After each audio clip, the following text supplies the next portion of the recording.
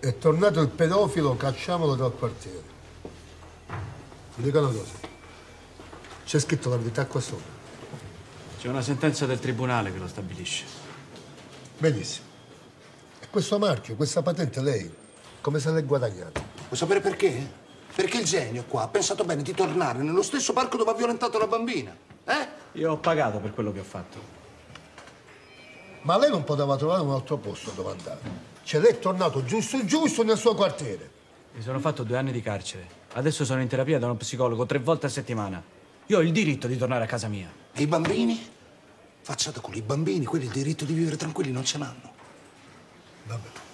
Lei ha idea di chi possa essere stato a fare questa bella pubblicità? Sicuramente è stato Di Maio, il padre della bambina. Quello non ha mai smesso di perseguitarmi. Io ho paura.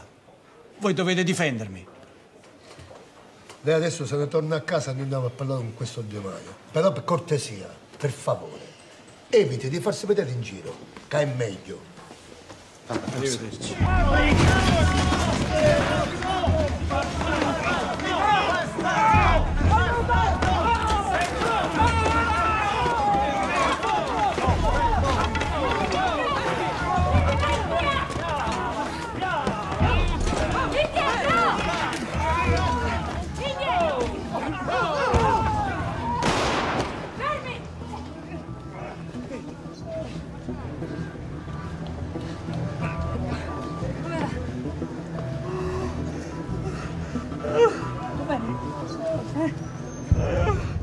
Commissario, quelli per poco mi ammazzano.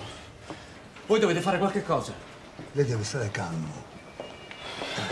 Avevo promesso all'ispettore che me ne stavo buono. Eh, davvero? Io ci ho provato, ma non ce la faccio. Quando me lo trovo davanti, penso a quello che ha passato mia figlia e perdo la testa. E fa bene ad essere dispiaciuto. Perché quell'uomo oggi ha rischiato il linciaggio per colpa sua. Perché continua ad affiggere quei volantini in giro per la città fomentando la gente. Nessuno lo vuole qui. Non sarebbe neppure dovuto tornare. Può darsi. Ma resta il fatto che lei adesso si prende una bella denuncia per istigazione a delinquere, cosa che sarebbe già dovuta accadere. E visto come sono andate le cose, anche una denuncia per aggressione. Mettete una volante giorno e notte sotto casa di quel tipo.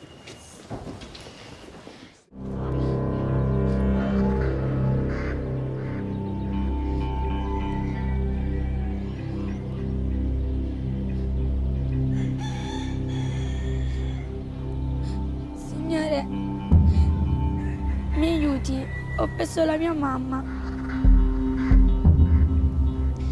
Sì, il telefono, le chiamo sul numero a memoria.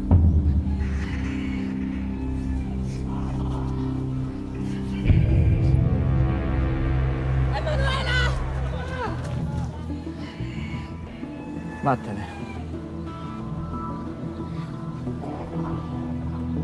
Vattene? Ti prego, vattene!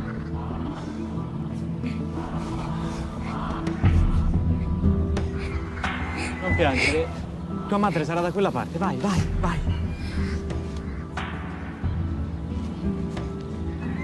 Mi aiuti?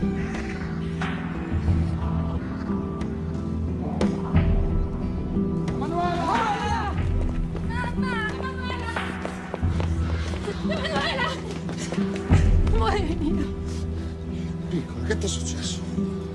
ti ho fatto male.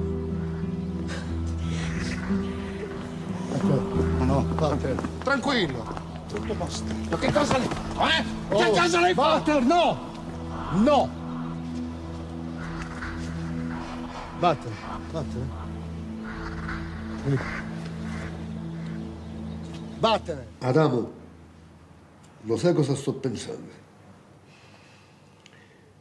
Che sono stati troppo buoni a farti uscire di prigione. Che ci hai fatto alla bambina? Non le ho fatto niente. Adamo, e la bambina perché piangeva? Perché voleva il mio telefono. Io le ho detto di andarsene, non l'ha fatto e l'ho cacciata via.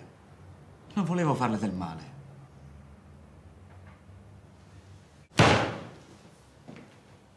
Adamo, ora basta questa favola.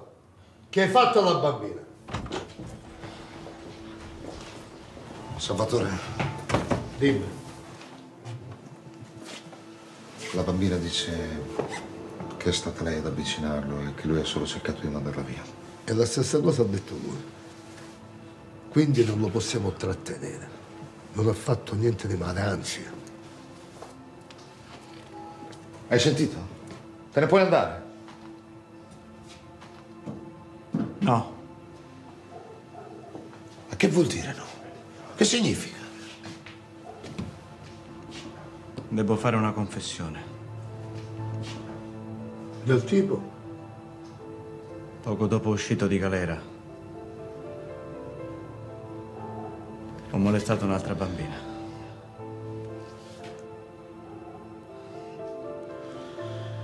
In un altro quartiere, lontano da casa mia. Adamo, pensa bene a quello che stai dicendo. L'ho già fatto. In galera sto bene. È l'unico posto dove non posso fare male a nessuno. Vi dirò dove e quando è successo. E potrete fare le vostre verifiche. E vedrete che sto dicendo la verità. Sono pronto ad assumermi le mie responsabilità.